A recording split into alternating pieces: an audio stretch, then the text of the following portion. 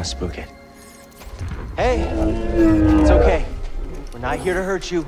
We're friends, understand? Friends. It's okay.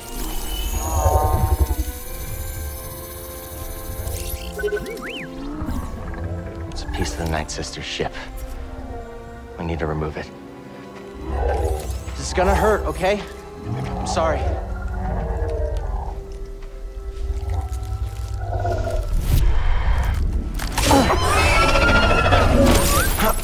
Thanks, BD.